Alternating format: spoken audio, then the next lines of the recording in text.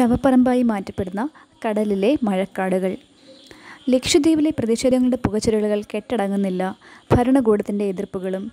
എന്തുകൊണ്ടാണ് ലക്ഷദ്വീപിലെ ജനത അവരുടെ ജീവനും ജീവിതവും തൃണവൽക്കരിച്ചുകൊണ്ട് പ്രതിഷേധിക്കുന്നത്? അവരുടെ വാദങ്ങൾക്ക് എന്തെങ്കിലും കഴമ്പുണ്ടോ? ഇതിന് പിന്നിലുള്ള വികാരം വെറും രാഷ്ട്രീയ പരിതം മാത്രമാണോ? അതോ അവർ അവകാശപ്പെടുന്നത് പോലെ തന്നെ ജീവനും ജീവിതത്തിനുമായുള്ള പോരാട്ടമാണോ? ഇതൊക്കെ മനസ്സിലാക്കാൻ ആദ്യം ദ്വീപിനെ പറ്റിയും ദ്വീപിന്റെ ജൈവ വൈവിധ്യത്തെപ്പറ്റിയും ആവാസ വ്യവസ്ഥകളെപ്പറ്റിയും അവിടുത്തെ മനുഷ്യരെയും പറ്റിയും മനസ്സിലാക്കേണ്ടതുണ്ട്. ഇന്ത്യയിലെ ഏക പവിഴ ദ്വീപ് സമൂഹമാണ് ലക്ഷദ്വീപ്. കോറൽ പോളിപ്പുകൾ എന്നറിയപ്പെടുന്ന സമുദ്രജീവികളുടെ ജൈവ അവശിഷ്ടങ്ങൾ അടിഞ്ഞുകൂടിയാണ് പവിഴ ദ്വീപുകൾ ഉണ്ടാകുന്നത്. പ്രീ കാംബ്രിയൻ കാലഘട്ടത്തിലെ ആരവല്ലി നിരകളുടെ തെക്കേ അതിർത്തി ഭാഗങ്ങളിൽ കടലിനടിയിലുണ്ടായ അഗ്നിപർവതങ്ങളുടെ വിസ്ഫോടന ഫലമായി പോളിപ്പുകൾ അടിഞ്ഞുകൂടിയാണ് ലക്ഷദ്വീപ് സമൂഹം രൂപപ്പെട്ടത് എന്നാണ് പറയപ്പെടുന്നത്. മുപ്പത്തിയാറ് ചെറു ദ്വീപുകളടങ്ങിയ ലക്ഷദ്വീപിൽ പത്ത് ദ്വീപുകളിലാണ് ജനവാസമുള്ളത്. ജീവനുള്ള കോറൽ കടൽ ചീര കടൽ വെള്ളരി ഡോൾഫിനുകൾ നക്ഷത്ര മത്സ്യം കടൽ ചേന കടൽ പുല്ലുകൾ കക്ക നീരാളി കവടി വിവിധയിനം മത്സ്യങ്ങൾ മുതലായ സമുദ്രജീവികളുടെ സ്വാഭാവിക ആവാസ വ്യവസ്ഥയാണ് ഈ ദ്വീപുകളിലുള്ളത്. ഇവയെ കൂടാതെ വിവിധയിനം ആൽഗകളുടെയും കടൽ പായലുകളുടെയും സൂക്ഷ്മ പ്രാണികളുടെയും നിറസാന്നിധ്യം ഇവിടെയുണ്ട്. ജനവാസമില്ലാത്ത ചില ദ്വീപുകൾ കടൽ പക്ഷികളുടെയും ആമകളുടെയും പ്രജനന കേന്ദ്രങ്ങളാണ്. പവിഴപ്പുറ്റുകളുടെയും ലഗൂണുകളുടെയും സാന്നിധ്യമാണ് ഈ ജൈവ വൈവിധ്യത്തെ സംരക്ഷിച്ചു പോരുന്നത് പവിഴപ്പുറ്റുകളുടെ നിലനിൽപ്പ് എത്രത്തോളം പരിസ്ഥിതിക്ക് അനിവാര്യവും ജൈവ വൈവിധ്യം കാത്തു സൂക്ഷിക്കുന്നതിൽ അനിഷേധ്യവുമാണെന്ന് എല്ലാവർക്കും അറിയാവുന്ന കാര്യമാണ്. എന്നാൽ കാലാവസ്ഥാ വ്യതിയാനം മൂലവും ആഗോളതാപനം മൂലമുണ്ടാകുന്ന സമുദ്ര താപനിലയിലെ ഉയർച്ചയും ശബ്ദ മലിനീകരണവുമൊക്കെയായി പവിഴപ്പുറ്റുകൾ നശിച്ചുകൊണ്ടിരിക്കുകയാണ്. അത് ലക്ഷദ്വീപിൽ മാത്രമല്ല എല്ലായിടത്തെയും സ്ഥിതി ഇതുപോലെ തന്നെയാണ്. അന്തരീക്ഷത്തിലെ വളരെ നേരിയ മാറ്റം പോലും കോറൽ ബ്ലീച്ചിന് കാരണമാകും. സമുദ്ര താപനില വെറും രണ്ട് ഡിഗ്രി ഫാരൻഹീറ്റ് ഉയർന്നാൽ മതി. ആ പ്രദേശത്ത് കോറൽ ബ്ലീച്ചിന് തുടക്കം കുറിക്കാൻ. പഠനങ്ങൾ വെളിവാക്കുന്നത് ലക്ഷദ്വീപിൽ ആയിരത്തി തൊള്ളായിരത്തി തൊണ്ണൂറ്റി എട്ട് രണ്ടായിരത്തി പത്ത് രണ്ടായിരത്തി പതിനാറ് കാലഘട്ടങ്ങളിലായി ഗുരുതര കോറൽ ബ്ലീച്ചിങ് നടന്നിട്ടുണ്ടെന്നാണ്. നേച്ചർ കൺസർവേഷൻ ഫൗണ്ടേഷൻ രണ്ടായിരത്തി പതിനെട്ടിൽ നടത്തിയ പഠനത്തിൽ പറയുന്നത് ആയിരത്തി തൊള്ളായിരത്തി തൊണ്ണൂറ്റി എട്ട് മുതൽ രണ്ടായിരത്തി പതിനേഴ് വരെയുള്ള കാലഘട്ടത്തിൽ ലക്ഷദ്വീപിലെ പവിഴപ്പുറ്റുകളുടെ സാന്നിധ്യം അമ്പത്തി ഒന്ന് പോയിന്റ് ആറ് ശതമാനത്തിൽ നിന്നും വെറും പതിനൊന്ന് ശതമാനത്തിലേക്ക് ചുരുങ്ങിയെന്നാണ് നാഷണൽ ഓഷ്യാനിക് ആൻഡ് അറ്റ്മോസ്ഫറിക് അസോസിയേഷന്റെ കണക്കുകൾ പ്രകാരം രണ്ടായിരത്തി പതിനാല് മുതൽ രണ്ടായിരത്തി പതിനേഴ് വരെയുള്ള കാലയളവിൽ ലോകത്തിലെ എഴുപത്തി അഞ്ച് ശതമാനം പവിഴപ്പുറ്റുകൾക്കും അവയെ നശിപ്പിക്കാൻ തക്ക താപസമ്മർദ്ദം അനുഭവപ്പെടുകയും അവയിൽ മുപ്പത്തിയഞ്ച് ശതമാനത്തോളം പവിഴപ്പുറ്റുകളുടെ നാശത്തിനും കാരണമായെന്നാണ്. ദശലക്ഷക്കണക്കിന് വർഷങ്ങൾ കൊണ്ട് ഉണ്ടായി വന്ന ജൈവ വൈവിധ്യമാണ് ഇങ്ങനെ മിനിറ്റുകൾ കൊണ്ട് നശിക്കുന്നത്. തലമുറകൾ പ്രയത്നിച്ചാലും തിരികെ കൊണ്ടുവരാൻ പറ്റാത്ത തരം വിനാശമാണത്. ലോക ജനസംഖ്യയുടെ ഏകദേശം എട്ട് ശതമാനത്തോളം ആൾക്കാർ ജീവിക്കുന്നത് പവിഴപ്പുറ്റുകളിൽ നിന്നും നൂറ് കിലോമീറ്ററിനുള്ളിലാണ്. ഇതിൽ നിന്നും മനസ്സിലാക്കുന്നത് പവിഴപ്പുറ്റുകളും ഈ ജനങ്ങളുടെ ഉപജീവന മാർഗങ്ങളും പരസ്പരം ബന്ധപ്പെട്ടിരിക്കുന്നു എന്നാണ്. അന്തരീക്ഷത്തിലെ കാർബൺ ഡയോക്സൈഡ് കൂടുന്നത് മൂലമുണ്ടാകുന്ന ഓഷ്യൻ അസിഡിഫിക്കേഷന്റെ ഫലമായി ലോകത്തിലെ അറിയപ്പെടുന്ന എഴുപത് ശതമാനം ആഴക്കടൽ പവിഴപ്പുറ്റുകളും ഈ നൂറ്റാണ്ടിന്റെ അവസാനത്തോടെ തന്നെ അമ്ലവെള്ളത്തിലാകുമെന്നാണ് ശാസ്ത്രജ്ഞന്മാരുടെ പ്രവചനം. ലക്ഷദ്വീപിലെ സെൻസസ് കണക്കുകൾ പരിശോധിച്ചാൽ രണ്ടായിരത്തി പതിനൊന്ന് സെൻസസ് പ്രകാരം ആകെയുള്ള ജനസംഖ്യയിൽ ഓരോ ഏഴാമത്തെ വ്യക്തിയും മത്സ്യത്തൊഴിലാളിയാണ്.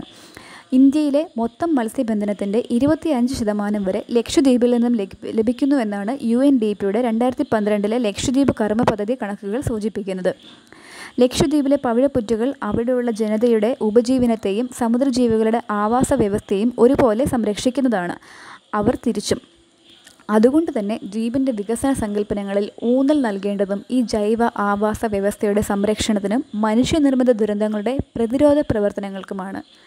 ലക്ഷദ്വീപിലെ ലഗൂണുകളുടെ പ്രാധാന്യവും ചെറുതല്ല. ആന്ധ്രോത്തിൽ മാത്രമാണ് വിശാലമായ ലഗൂണുകളുടെ സാന്നിധ്യം ഇല്ലാത്തത്. വലിയ തിരമാലകൾ കരയിലേക്ക് അടുക്കാതെ തീരത്തെ സംരക്ഷിക്കുന്ന ആഴം കുറഞ്ഞ ഈ കടൽ പരപ്പുകൾ നിരവധി ജീവികളുടെ ഈറ്റില്ലം കൂടിയാണ്. കൊഞ്ച് ആമ നീരാളി സ്പോഞ്ച് കടൽ വെള്ളരി ഇവയൊക്കെ ഈ ലഗൂണുകളിൽ കാണാം. ലക്ഷദ്വീപിലെ ജൈവ സന്തുലനാവസ്ഥ നിലനിർത്തുന്നതിൽ ഈ ലഗൂണുകളുടെ പങ്ക് വളരെ വലുതാണ്. ലക്ഷദ്വീപുകാരിൽ തൊണ്ണൂറ്റി ഒൻപത് ശതമാനവും പട്ടികവർഗത്തിൽപ്പെട്ട മുസ്ലിം സമുദായക്കാരാണ്.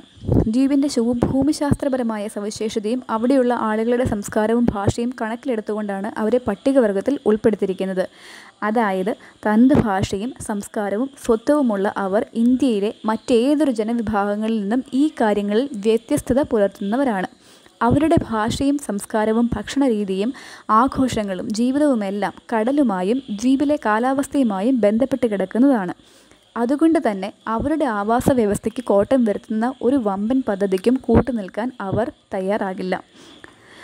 ലക്ഷദ്വീപിലെ പ്രക്ഷോഭങ്ങൾക്ക് തുടക്കം കുറിച്ചത് അവിടെ പുതുതായി നിലവിൽ വരുത്തിയ ചില ഭരണ പരിഷ്കാരങ്ങൾ മൂലമാണ്.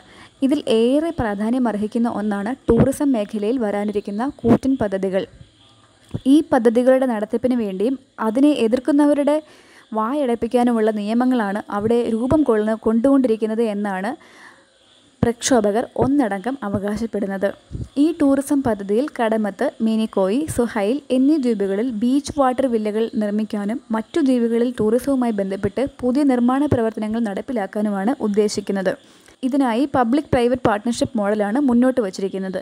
റോഡിന്റെ വീതി കൂട്ടലും ഭൂമി പിടിച്ചെടുക്കലുമൊക്കെ ഇതിനു വേണ്ടിയിട്ടാണ്. ഇരുചക്ര വാഹനങ്ങളും കൈവിരലിൽ എണ്ണി തീർക്കാൻ മാത്രമുള്ള കാറുകളുമുള്ള ദ്വീപുകളെയാണ് റോഡിന് വേണ്ടി ശ്വാസം മുട്ടിക്കുന്നത്. പാവപ്പെട്ട മത്സ്യത്തൊഴിലാളികളുടെ മത്സ്യമുണങ്ങാനുള്ള സ്ഥലവും ചന്തയും ബോട്ടുകൾ സൂക്ഷിക്കുന്ന സ്ഥലവുമൊക്കെയാണ് ഇങ്ങനെ സ്വകാര്യ വ്യക്തികളുടെ കയ്യിലേക്ക് എത്താൻ പോകുന്നത്. ഇനി ഇതുമൂലമുണ്ടാകുന്ന പരിസ്ഥിതി പ്രശ്നങ്ങളും ആവാസ വ്യവസ്ഥയുടെ സമ്പൂർണ നാശവുമൊക്കെ കണക്കിലെടുത്തുകൊണ്ടാണോ ഈ വികസന പദ്ധതികൾ വരുന്നത് എന്ന് ചോദിച്ചാൽ അല്ലേ അല്ല. രണ്ടായിരത്തി പതിനാലിൽ സുപ്രീം കോടതി നിയമിച്ച justice R V Raveendran committee നിർദ്ദേശിച്ചത് ദ്വീപുകളുടെ തീരത്ത് ഹൈ ടൈഡ് ലൈനിൽ നിന്ന് ഇരുപത് മീറ്റർ ഏകീകൃത മേഖല ആയിരിക്കുമെന്നും ഇത് നോൺ ഡെവലപ്മെന്റ് സോൺ ആയിരിക്കണം എന്നുമാണ്. കൂടാതെ ഐ ഐ എം പിയിൽ ഇന്റഗ്രേറ്റഡ് ഐലൻഡ് മാനേജ്മെന്റ് പ്ലാൻ രൂപകൽപ്പന ചെയ്തിട്ടുള്ള എല്ലാ പദ്ധതികളും പ്രവർത്തനങ്ങളും തദ്ദേശ സ്വയംഭരണ സ്ഥാപനങ്ങളുമായി കൂടിയാലോചിച്ച് നടപ്പിലാക്കണം എന്നുമാണ്. ഇപ്പോൾ തന്നെ നിരവധി പക്ഷിഗണങ്ങളുടെയും ആമകളുടെയും പ്രജനന കേന്ദ്രമായ സുഹൈൽ ദ്വീപിലെ മരങ്ങൾ മുറിച്ചു മാറ്റപ്പെട്ടു കഴിഞ്ഞു. പുതിയ ഹെലിപ്പാഡിന്റെ പണികൾ അവിടെ പുരോഗമിക്കുന്നു. ഏത് പരിസ്ഥിതി ആഘാത പഠന റിപ്പോർട്ട് പ്രകാരമാണ് ഈ വൻ ദുരന്തം നടപ്പിലാക്കിക്കൊണ്ടിരിക്കുന്നത്? പി പി പി മോഡൽ പ്രകാരം എഴുന്നൂറ്റി എൺപത് കോടിയോളം ഇതിലേക്കായി മുടക്കാനായി ഏത് കുത്തക മുതലാളിയെയാണ് ഇറക്കുമതി ചെയ്തിരിക്കുന്നത്? എന്തിനാണ് അഡ്മിനിസ്ട്രേറ്റർക്ക് വികസന പ്രവർത്തനങ്ങളിൽ ഏകപക്ഷീയമായി ഭൂമി നീക്കിവെക്കാനുള്ള അധികാരം നൽകിയത്? അതേസമയം വർഷങ്ങളായി അനുഭവിച്ചു വരുന്ന സ്വന്തം ഭൂമിയിൽ ഒരു മുറി കൂട്ടിയെടുക്കണമെങ്കിൽ പണമടച്ച് രസീത് വാങ്ങേണ്ടുന്ന അവസ്ഥയിലേക്ക് അതും നിരസിക്കാനുള്ള സാധ്യത നിലനിൽക്കെ ദ്വീപ് നിവാസികളെ തള്ളിവിട്ടത് എന്തിനാണ്? ഉത്തരം ഒന്നാണ് ടൂറിസത്തിലൂടെ വമ്പൻ വരുമാനം ദ്വീപ് ഉണ്ടാക്കി കൊടുക്കുന്നതിന് വേണ്ടി. പണ്ട് ബ്രിട്ടീഷുകാർ ഇന്ത്യയിൽ വന്ന് ഇന്ത്യയെ കൊള്ളയടിച്ചപ്പോൾ അവരും ഇതുതന്നെയാണ് പറഞ്ഞത്. ഒട്ടും പരിഷ്കൃതരല്ലാത്ത ഭാരതീയരെ പരിഷ്കരിച്ച് വികസനം കൊണ്ടുവരിക എന്ന്. പക്ഷേ വികസിച്ചത് ആരുടെ പോക്കറ്റായിരുന്നു എന്ന് ഇന്നെല്ലാവർക്കും അറിയാം. ലക്ഷദ്വീപിന്റെ കാര്യത്തിൽ അതിലും ഗുരുതരമാണ് കാര്യങ്ങൾ. ഇപ്പോൾ തന്നെ ശോഷിച്ചുകൊണ്ടിരിക്കുന്ന സമുദ്രത്തിലെ മഴക്കാടുകൾ ഈ വികസന പ്രവർത്തനങ്ങളിൽ നിമിഷങ്ങൾ കൊണ്ട് അവസാനിക്കും. മഴവിൽ വർണങ്ങളാൽ ആരെയും കോതിപ്പിക്കുന്ന വശിഭംഗി ചിത്രങ്ങളിലും ആർക്കൈവുകളിലും മാത്രമാകും. മാലദ്വീപ് മോഡൽ വില്ലകളിലൊക്കെ സഞ്ചാരികൾ കാണാൻ പോകുന്നത് പവിഴപ്പുറ്റുകളുടെ ശവപ്പറമ്പായിരിക്കും. ഈ മനുഷ്യനിർമ്മിത ദുരന്തത്തിൽ പൊലിയുന്നത് നാളേക്കുള്ള പ്രതീക്ഷകളാണ്. വിളിച്ചു വരുത്തുന്ന വൻ ദുരന്തമാണ് ലക്ഷദ്വീപിലെ ടൂറിസം പദ്ധതികൾ. ആ ജനതയെ അവരുടെ മണ്ണിൽ നിന്ന് ആട്ടിപ്പായിക്കാനുള്ള കരി നിയമങ്ങളും അവരുടെ ഉപജീവനത്തെയും ആവാസ വ്യവസ്ഥയുടെ നിലനിൽപ്പിനെയും തന്നെയും ബാധിക്കുന്ന പുനഃപരിഷ്കാരങ്ങൾ പുനഃപരിശോധിക്കേണ്ടതുണ്ട്. കാലാകാലങ്ങളായി ദ്വീപിനെ സംരക്ഷിച്ചു പോരുന്ന ആ കൈകളിൽ തന്നെ അവരുടെ ദ്വീപുകളെ തിരിച്ചേൽപ്പിക്കേണ്ടതൊട്ട് അവരും ജീവിക്കട്ടെ അവരുടെ മഴക്കാടുകൾക്കൊപ്പം.